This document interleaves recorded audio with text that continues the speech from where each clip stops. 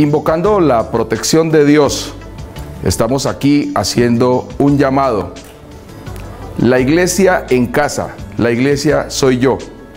Nos hemos reunido con todos los pastores revisando la posibilidad de que podamos, orándole a nuestro Creador, también seguir todos los protocolos para evitar que esta pandemia se siga expandiendo. Recuerda, la autoprotección es la mejor medida. De la mano de Dios, pero también con tu sensatez, te proteges tú, nos protegemos todos.